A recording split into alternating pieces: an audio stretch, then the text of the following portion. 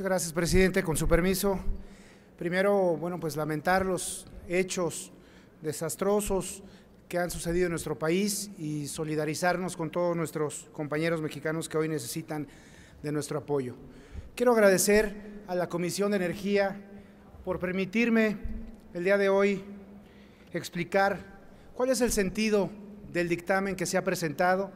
Muy en especial agradecer al presidente, al diputado Marco Antonio Bernal, quien dentro de la propia comisión ha demostrado que no solamente ha escuchado las voces de diferentes fuerzas políticas, sino que ha integrado y ha buscado que todas las propuestas queden plasmadas en todo lo que tiene que ver con las reformas que estamos haciendo.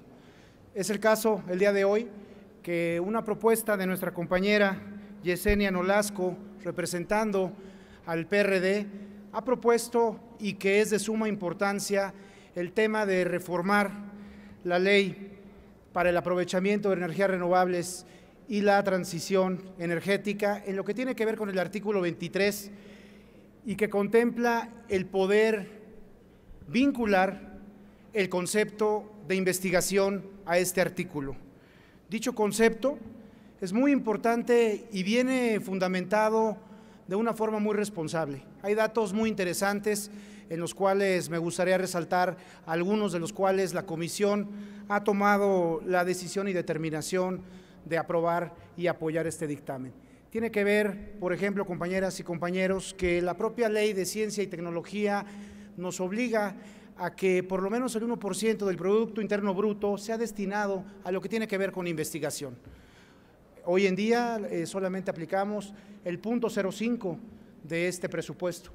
Sabemos y estamos conscientes dentro de la comisión que el poder integrar el concepto de investigación en el artículo 23 tampoco va a solucionar de fondo la problemática, puesto que eso tendrá que ver en lo que se discutirá en el presupuesto 2014. Pero sí es muy importante que desde la comisión podamos nosotros implementar las herramientas correspondientes a lo que tenga que ver con el tema de las energías renovables.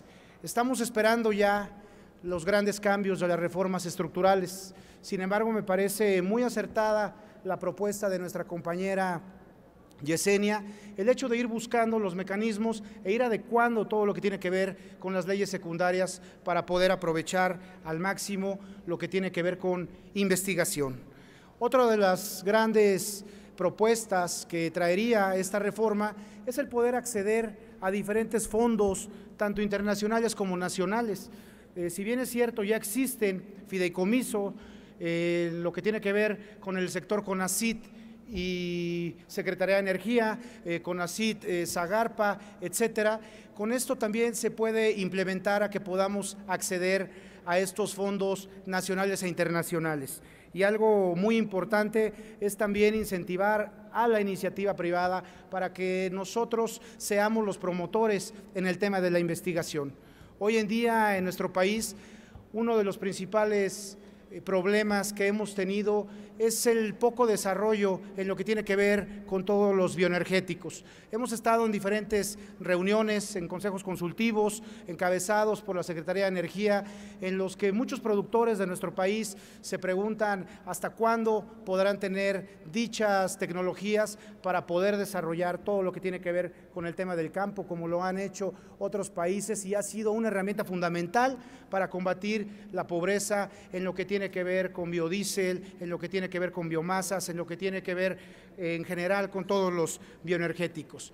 Es una propuesta muy completa en la que la Comisión ha coincidido en que se necesita el impulsar una mayor investigación científica y tecnológica para que podamos desarrollar diferentes sistemas. Parecería muchas veces, compañeros y compañeras, que los recursos naturales solamente nos han venido afectando en muchas de las situaciones.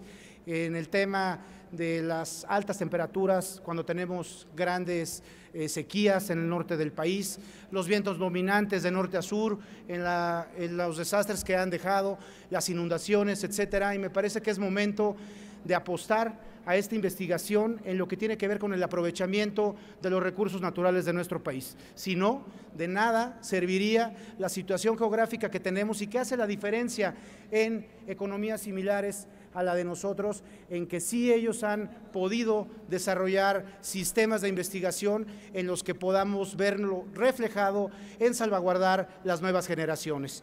Esta propuesta, compañeros y compañeras, es apoyar a nosotros mismos en nuestro trabajo legislativo, es apoyar a las nuevas generaciones y así lo ha deliberado y dictaminado la Comisión de Energía, apoyando la propuesta de nuestra compañera Yesenia Nolasco. Es cuanto, señor presidente.